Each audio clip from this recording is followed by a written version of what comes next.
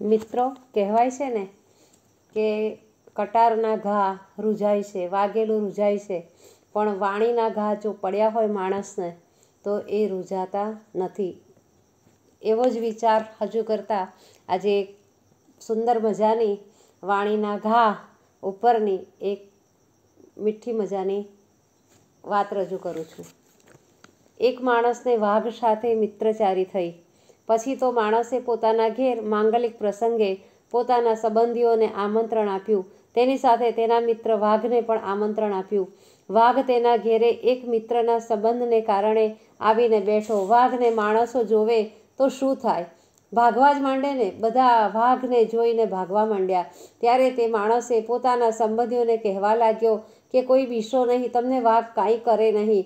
આ તો કૂતરા જેવો જ છે, તે સાંભળી વાઘને હડોહડ લાગી ગયું કે મને કૂતરો કહ્યો, બીજો હોત તો તે તરત જ ઠેકાણે પડી દેત, પરંતુ આ તો મારો મિત્ર છે, તો મિત્રઘાતી મારાથી કેમ થવાય એવું વાઘે વિચાર્યું.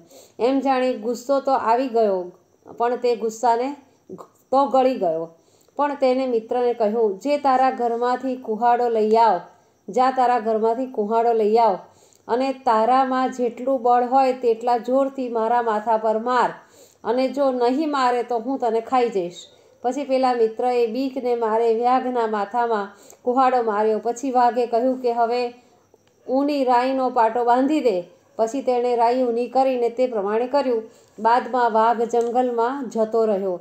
થોડા દિવસો પસાર થયા. બાદ માણસ મિત્ર વાઘને મળવા ગયો.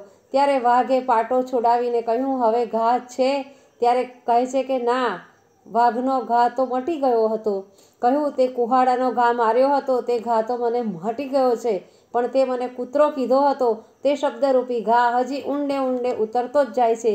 તું મારો મિત્ર છે, એટલે જવા દઉં છું. પણ આજથી તારી મારીને, તારી અને મારી મિત્રતા પૂરી થઈ ગઈ છે. માટે ફરીથી તું અહીં આવતો નહીં. આ પ્રસંગ પરથી આપણને સમજાય છે કે વાણીના ઘા બહુ આકરા હોય છે. માટે બોલતા પહેલાં એક વખત નહીં, પણ સો વખત વિચાર કરીને બોલવું જોઈએ. કોઈને પણ દુઃખ થાય તેવી વાણી ક્યારેય પણ બોલવી જોઈએ નહીં. સર્વ, સર્વમાં પરમાત્માના દર્શન કરી તેની સાથે આપણે વિચાર અને વાણી રજૂ કરવા જોઈએ. જય શ્રી કૃષ્ણ.